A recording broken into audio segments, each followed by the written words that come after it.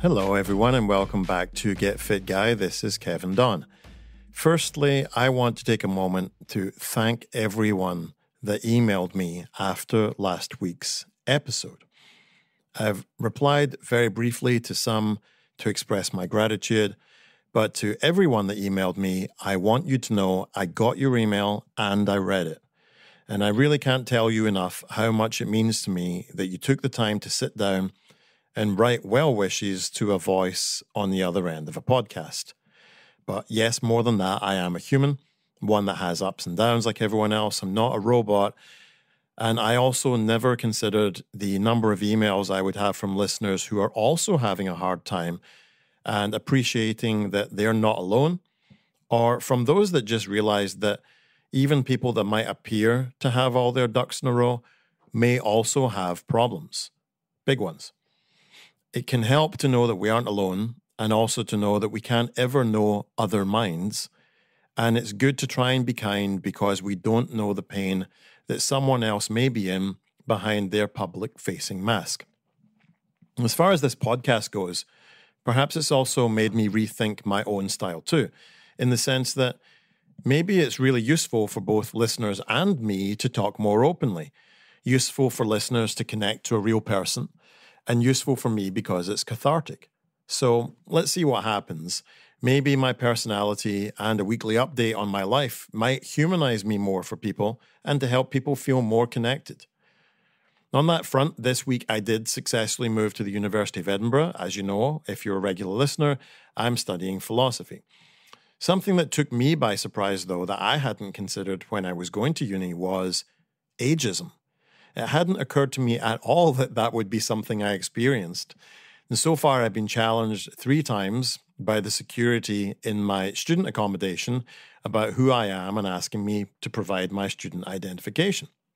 Whilst I'm happy that they're being attentive to strangers, I can't say that being stopped because to them I look too old to be a student makes me feel great. Uh, a 19 year old girl I sat next to this morning at my welcome talk, and I introduced myself, asked me why are you going to university at your age?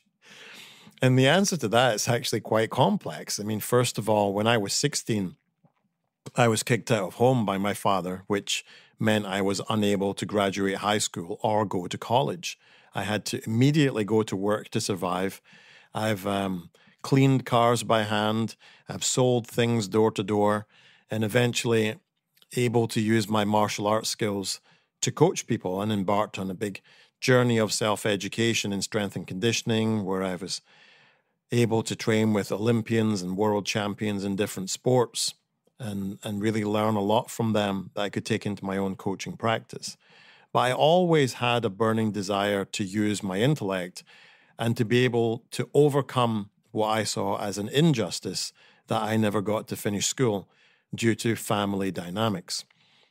Aside from that, I think fitness itself lacks the sense of achievement that humans love to have. Like you might attain those in a more traditional career, but you can't really work hard and become the vice president of cardio training one day.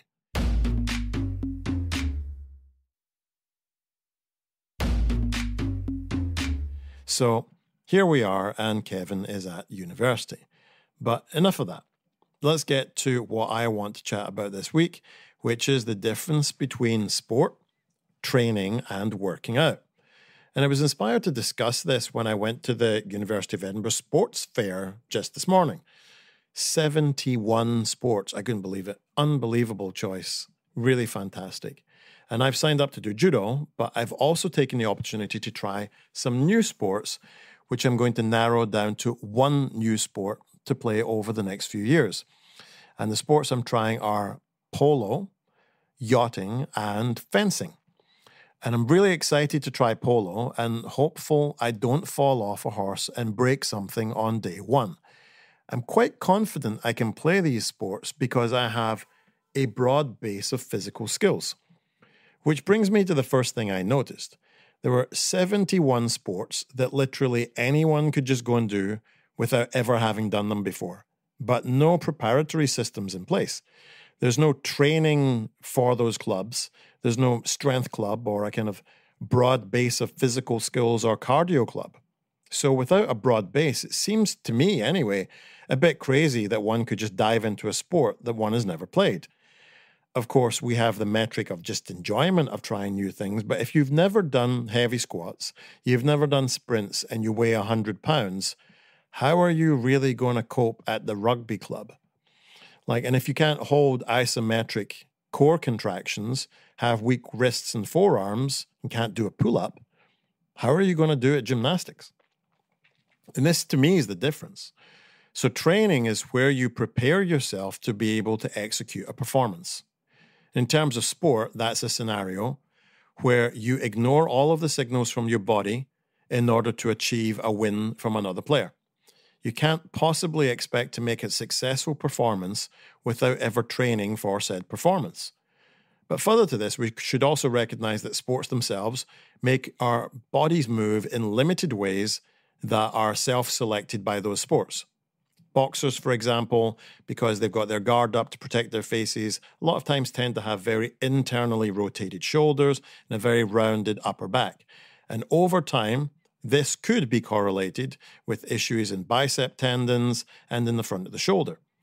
Boxers might want to think about hedging against that kind of thing by doing single arm face pulls, bent over dumbbell rows, and that would help to balance things out and build rear shoulder strength same thing with martial arts. I think about karate and taekwondo that are more kick focused and use a lot of quadriceps to extend the leg. So perhaps they might consider working the hamstring, whilst it wouldn't directly help the sport, but it could hedge against the injury of being imbalanced front to back. So for those of us that just want to get fit and be healthy, is sport the way forward? Because there are a lot of different sports clubs out there, as I found at the university today? And the answer for me is that sports clubs have added benefits that training alone at the gym might not have. You've got social networking, camaraderie, and these have great benefits for mental health and self esteem.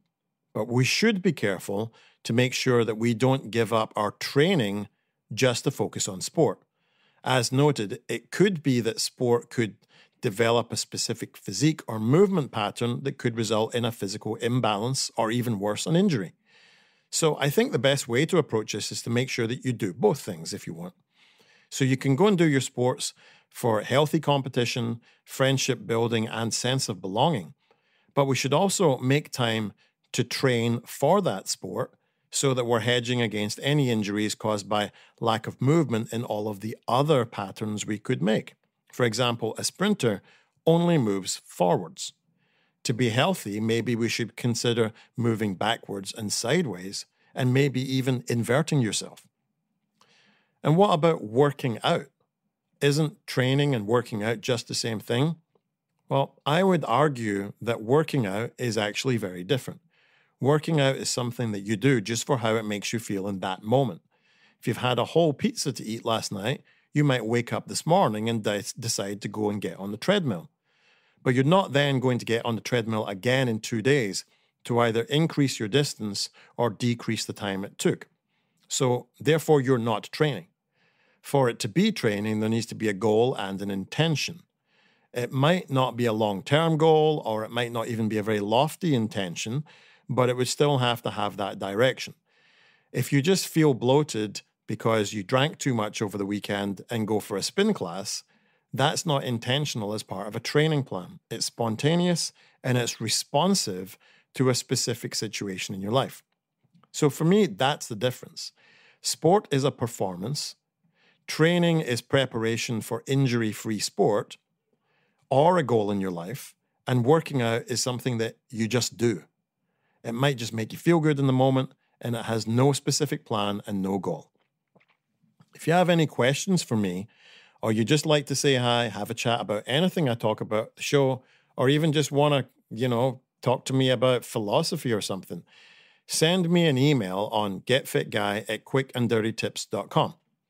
Get Fit Guy is a Quick and Dirty Tips podcast, thanks to the team at Quick and Dirty Tips Morgan Christensen, Holly Hutchings, Brannan Goetschius, Davina Tomlin, and me, Kevin. If you have a question for me, you can also leave me a voicemail as someone has done in the past.